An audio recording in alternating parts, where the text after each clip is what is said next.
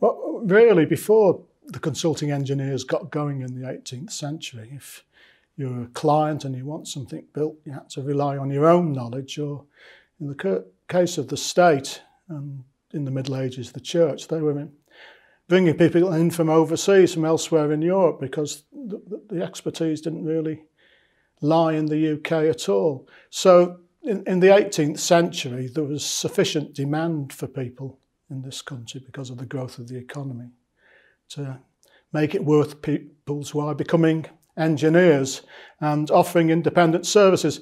So that the consultant really wasn't trying to peddle their own wares. They weren't trying to sell their own gadgets. They were actually offering independent advice.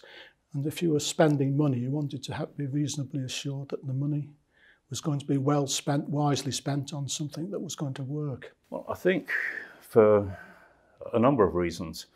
Um, and again, it varied in different times. From the Industrial Revolution onwards, um, engineers were needed and they were wanted, um, and a good engineer was, um, was wanted all over the world. And uh, they became consultants and they advised um, governments and utilities and other people all over the world um, for centuries and still do. Um, and uh, we wouldn't have much infrastructure in Britain without it, and actually a lot of the rest of the world wouldn't without British consulting engineers.